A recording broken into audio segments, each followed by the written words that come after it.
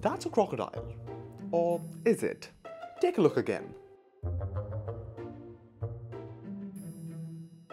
Yeah, that's only a robot pretending to be a crocodile, and it's out there spying on real crocodiles and other wild animals for a documentary film crew. Welcome to Then vs Now, where we look at how technology is reshaping wildlife conservation. Observing animal behavior in their habitats has never been easy. Back in the day, and sometimes even today, scientists would sit hours on end in the jungle with binoculars and cameras. There are of course camera traps, but these result in huge amounts of video with only a tiny fraction of animal footage. But now, robots like these fitted with mics and cameras could be a convenient way to study biodiversity.